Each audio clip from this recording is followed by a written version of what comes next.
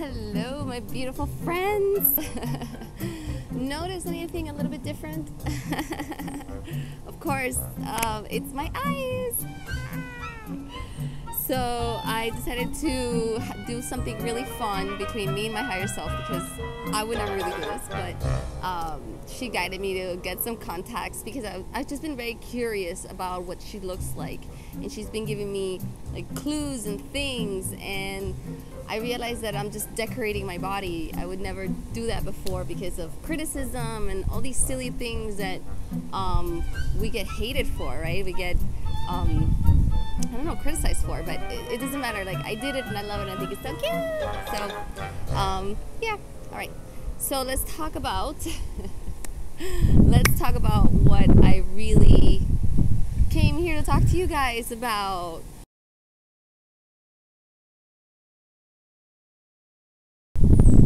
Today's topic, you know, um, has is very serious, and I was guided to uh, to talk about this because it's very serious, because it's something that is going to be happening more.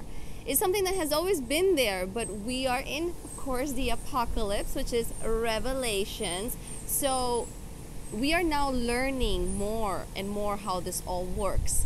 And when I explain to you guys things, is this the it's a certain perspective that was shown to me. But there's so many other different perspectives perspectives to the truth because the truth also has levels just like we have consciousness levels right? So something that i learned uh, not so long ago is what it really means to have a, um, a blackout an alcoholic blackout. And the way that my higher self presents to me information she gives me clues you know like it's not it's never like a like a full on this is the truth in this vision. It's not so much like that like they gave me certain clues about things. It's a game you're playing a game. If you if you start to look at life as a game of trying to learn what the next step is and trying to find synchronicity then you already won the battle basically. If you look at life like that then yes. So i started making these connections. You know they give me little little clues and I, and, and I make a connection and then as I and then my brain lights up and that's when I ask I ask if this is true. After I make all these connections then I ask my higher self hey is this the truth? kind of thing. And then my higher self gives me a confirmation like a yes or no confirmation and the confirmation comes in different ways but it's always very clear to me if it's a yes or a no because it's it's very clear um, so I asked, I make these connections about what blackouts really mean. I've been learning so much about darkness lately. I've been learning how uh, we live in a world of duality. Therefore, if you can experience this beauty here, like this is why we're so blessed. You know, there's a reason why I'm going into this. This is why we're so blessed because as much as you it may be hard for you it's like there is somebody that is going through something even harder there's there's always somebody that is going through something even harder however it's, it's not even just that but like as happy as you can be or as, as as beautiful life can be here in this planet is as ugly it can be um, underworld you can say in the underworld because it, we live in that world of duality. It's the yin and the yang. And this is why it's so important to be neutral because we're literally like a pendulum. It, when you go really high, that's why we always crash really low. Correct, right? And so you don't want to in life, you under, you have to understand that if you want to go really high in life, um, you have to know what it means to be really low, you know. And so, this is part of growth and um, with that said, I've been learning how um, when we are in a low vibration, we get spirit attachments.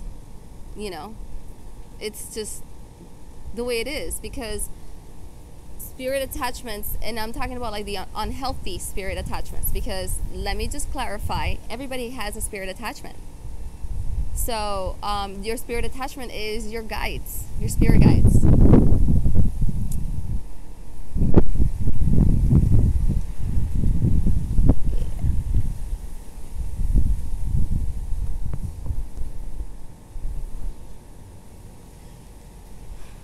your spirit attachments are your spirit guides. Therefore, these are the healthy spirits, and they will always come into your life according to how high you're vibrating.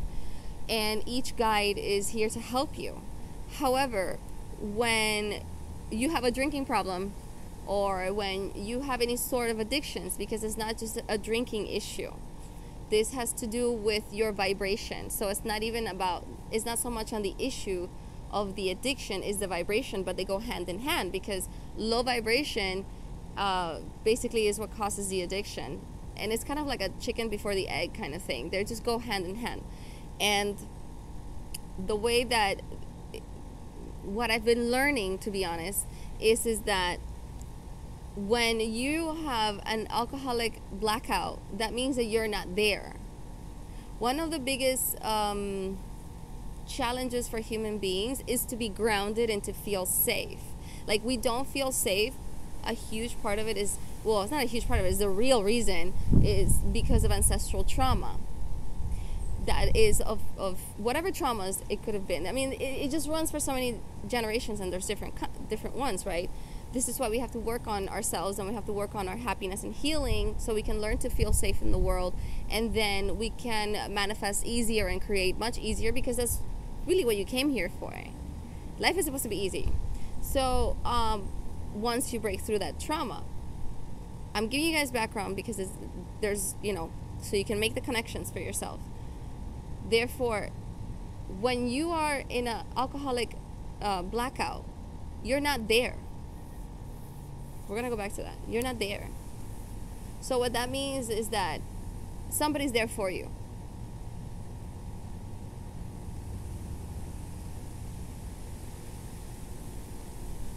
And if you're saying that that an, what an alcoholic blackout is a is a possession, then you're right. That's pretty much ultimately ultimately what it means. It's a possession. Because every time that you're not in your body, that's why we get sick. Other bacterias come into our bodies. We're not in our bodies because we're too much in our heads, into our logical aspect, which is also part of the machine and part of the mind control. And it's here to create addictions for us.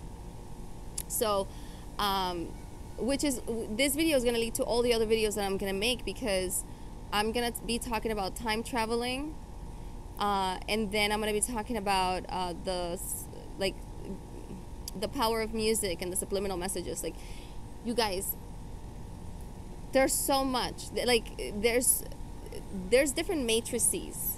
All right, there's a, a, a real beautiful matrix, which is the universe, and then there's the one that we are breaking from, but it's not again it's not because we live in a fucked up world where we're just lied to because we're lied to. It, it's not about that. Is that we were lied to because it had to be this way to protect us because we didn't have the mental capacity to understand what is really happening and we were pretty much like a baby species so we have graduated so they are giving me a lot of information of what all these things mean so you guys can be more conscious and you can live more conscious. When we drink a lot, this is, and by no means God is saying that you have to stop drinking. It, the thing is, is that if you're trying to heal the addiction, there's this thing called the addiction that everybody has. Everybody is born with it, pretty much, or everybody gets gets given that because of the mind control matrix that we live in. So we have to heal that. And most people haven't healed that. I think when you truly healed the addiction, that's when you're in 5D, honestly. Um, because you could be in 5D consciousness, like coming up and down, but you still are dealing with the addiction. Because I've seen that. I've, if, I feel like you're fully in 5D when you heal the addiction. And, um, and, when, and if you're trying to heal the addiction, you have to stop drinking for a while. You have to stop drinking. So, because there's some people that are like, I don't want to stop drinking. I'm, you know, I it doesn't it doesn't really cause me problems. And it's like, yeah, you don't have to like. It's not that you're gonna have to stop drinking forever, but it's if you're if you're going through things, maybe it's good that for you to stop drinking so you can feel them and um, expunge them out, to be honest. Yeah, so then you can later on enjoy drinking without going into blackouts because that means that you're not in your body. Yeah, so some like, and this is what's kind of gonna happen.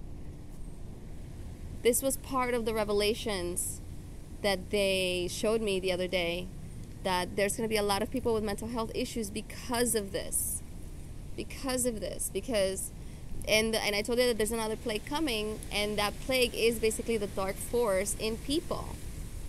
You know it's going to awaken the dark force in people. So if you have a if you have some form of addictions it, when you're not fully feeling safe your anger it it makes another spirit with the same level of anger enter your body in other words so this is why it's so important for us to understand our anger. It doesn't mean that you cannot feel your anger because sometimes when you're not sometimes like when you're awakening you have to feel anger. But just know that it's like just know that you're working towards healing it not towards suppressing it. Right. You know?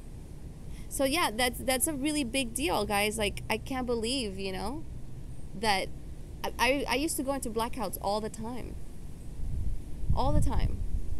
And it makes you do stupid shit. It makes you do really stupid shit. And it, that's kind of what they were showing me that it's going to get more intense you know? And so we have to be really kind to people that have addictions because they don't even know what the fuck is going on. And and this is this is everybody at one point. We all have suffered from an addictive behavior at one point, and that is usually a, a lower spirit attachment trying to fuck with you. And this is why we have to love ourselves, and it because it's not truly our fault. We are victims of victims, you know. And uh, of course, it's not other people's fault. It's not that the spirit attachment's fault either. No, no, no, no, baby, no, baby. It's if anything, it's your fault for having low boundaries this is why boundaries are so fucking important. So, so yeah, guys, there you have it. The main and real reason why we have blackouts is because we're not in our bodies. And that alcohol the alcohol takes us away even more when we when we drink it such high doses. That's why they have the santeria stuff you know that they drink alcohol. I mean, alcohol has been around for a very long time for that reason because it, it, it and it's a lower and it's kind of like a lower consciousness uh, type of uh, chemical because it, it, it has it's poison. It's, it's it has a lot of poison to get you to low to to lower your inhibitions. So it's a lower consciousness kind of uh, chemical uh, substance. So what do you think is going to match lower consciousness spirits? You know, and if you're in a very low consciousness, it can even match demons you know, they don't want to kill you, but they want to fuck with you. You know, they're going to make you sleep with people that you don't want to sleep with. They're going to they're to just make you get in trouble, and that's what they do. They cause trouble. So, I hope that this video was helpful for you.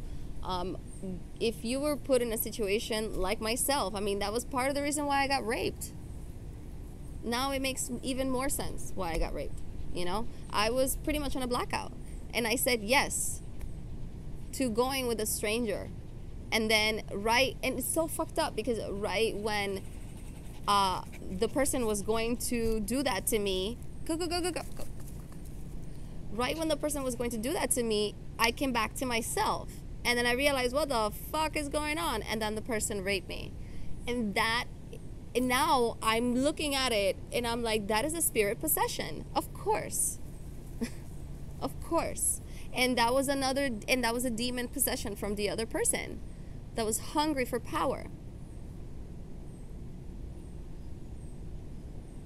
so i want you to be more conscious of the choices that you make and the chemicals you put in your body the amounts of chemicals stop, stop, stop. the amounts of chemicals that you put in your body okay guys i love you all you know, any sort of mistakes that you feel like you've made in life or if you feel shitty, go do forgiveness on yourself. It's not, you're not here to feel bad about yourself. You're here to learn. Okay, guys? Love you all. Um, you know where to follow me. Like this video if you thought it was helpful and share it for people that really could use it. Um, subscribe, and I love you guys. And bye.